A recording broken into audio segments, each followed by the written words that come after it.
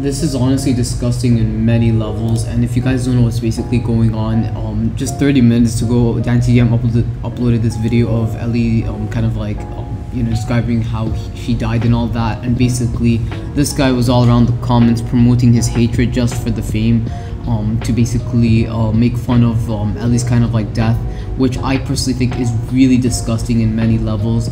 Like bro is literally the carbon copy of Flexwery and if you guys don't know who Flexwery is he's basically the exact like same person um as this guy right here thinking um you know a death of a dog is funny or whatever. And honestly bro if you really think about it DanTDM's dog is someone special to him.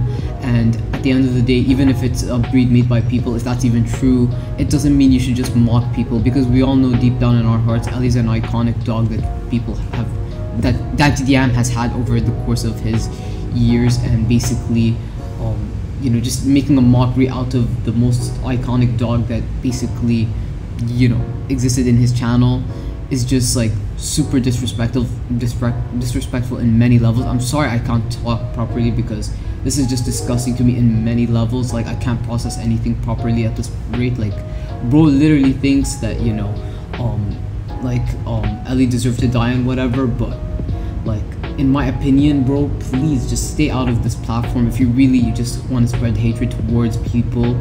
And yeah that's basically it. He's basically a carbon copy of Flexwery i'm super disgusted of this guy.